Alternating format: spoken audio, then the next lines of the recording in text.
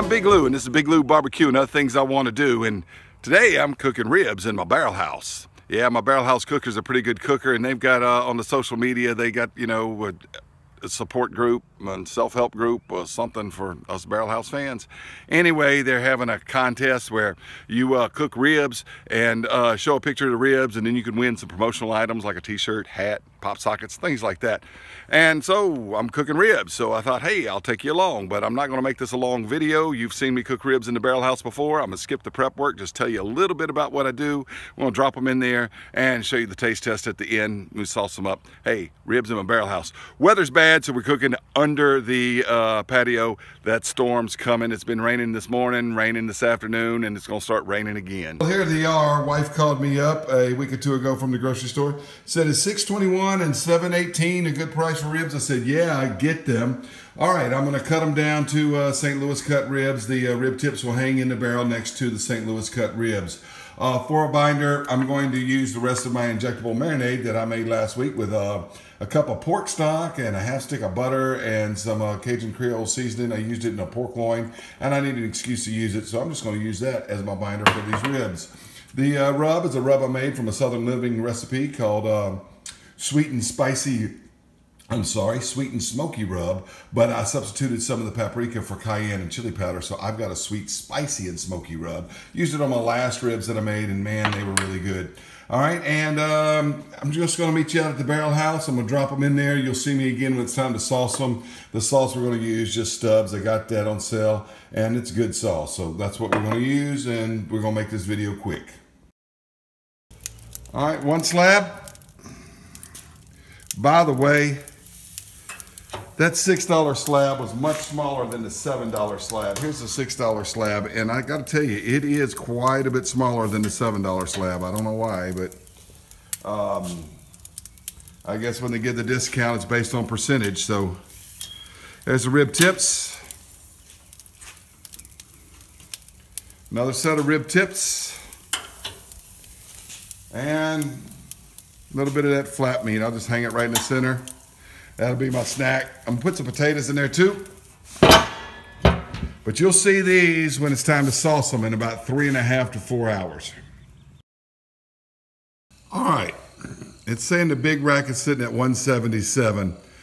A little while ago when they were in the upper 160s, I checked the other rack. It looked like it was getting done. It's gonna be like fall off the bone, a little too done to me.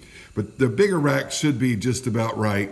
I pulled out the rib tips at that time and that flat meat, sampled that, pulled off the two smaller potatoes, left the onions and the bigger potato in here. They weren't quite soft enough yet. But I think it's time to go ahead and sauce them up. It's kind of hard to tell an exact temp on ribs because they change quite a bit. And I know it's gotten dark, but that's all right. Let's have a look at these things. I'm gonna go ahead and pull this probe out. And uh-oh, I just lost my hook. All right, in the blink of eye, I'm back with a hook. Okay, here is the smaller rack.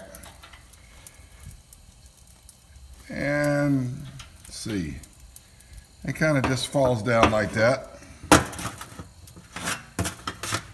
So that's looking good. Here's the bigger rack. And it's going to be a little tougher yet hadn't got quite gotten soft. Come on out of here. Getting caught on the O-ring down there. Yeah, it's it's not as tender as a smaller rack yet. I may leave it in there a little longer. All right, so what we're gonna do, I'm just gonna set them right there and sauce them, guys. Elvis Presley King Cup. Hey, I heat this uh, Stubbs barbecue sauce up in the microwave because I don't want to put cold barbecue sauce on my warm ribs now. All right. So it's been heated. Mm. All right, guys, you know, I'm gonna uh, sauce the other side and I'll show you when we're rehanging them, all right?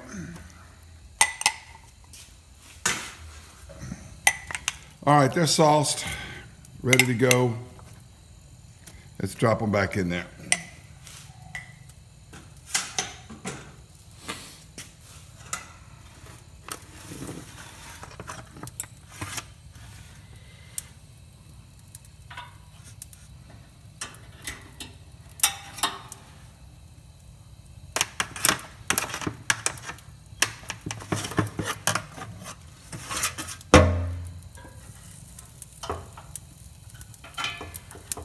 Well, it's been about 20 minutes since we put the sauce on. I'm absolutely certain that smaller rack is ready to come off.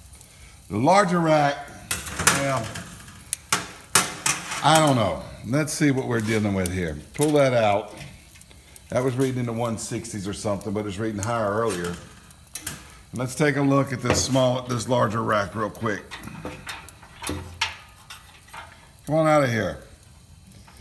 Got caught on the O-ring again. Dead nabbit. That's not too good, is it? Been in better than earlier. Been in better than earlier, but let's see what, just kind of probe at it. I may wind up leaving this one on longer. It ain't too bad. Real tender there. Some of this is real tender. Yeah. You know what? I'm taking it off. Feels right. Taking it off. Let's get this overdone rack off of here.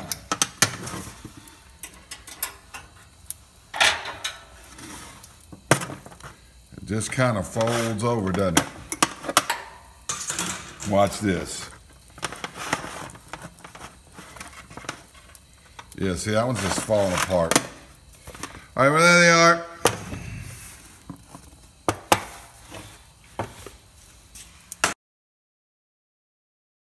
All right, to be perfectly honest, the Barrel House does not do bad ribs, but had one slab that was quite a bit bigger than the other slab, and I'm worried this slab is a little overdone for my taste, but my son will like it. It's fall off the bone, I'm sure. This one here may be gnaw off the bone, I don't know.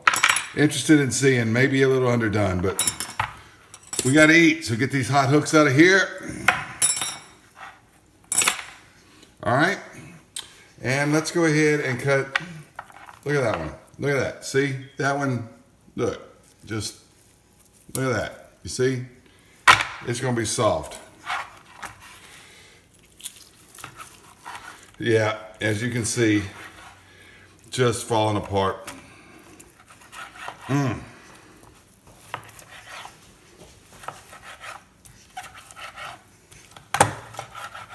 All right, I'll cut the rest of them up later.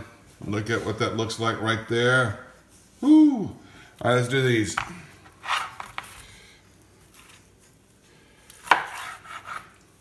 Not too bad. They slice it through their little, not too bad. I think I'll actually like them. That one's the one with a lot of fat on it at the top. That one's a pretty one. Look at that. Look at that. Mmm. I think I'm going to enjoy it. All right. Taste test time. All right. Family's tried them. I hadn't tried them yet. Uh, my wife said fantabulous. Is that what? Fantabulous. And Hannah. Fantabulistic. Eli's in the other room eating several of them. How are they, Eli? They're good. All right, this is that smaller rack. Uh, these racks were such size difference. Really came out completely different, but yeah, you can see it just come off the bone. I mean, just coming off the bone. Really good. I mean, using that marinade was good too, I can taste that. Stub sauce is always good. All right, here's the other one from the rack that was bigger. Yep. That's good.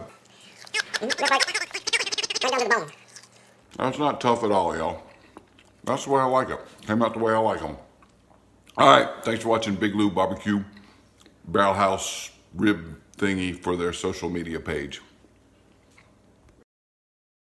Well, I cooked those ribs a few days ago and yesterday on the Barrel House anonymous 12-step program social media page. That's not really what it's called. Where they have that rib contest uh, where you take a picture with the ribs and the barrel house. I got third place. Yeah, that picture, my daughter took it. So I got a pop socket coming. Well, I've already got a barrel house pop socket on my phone, so I offered it to my daughter.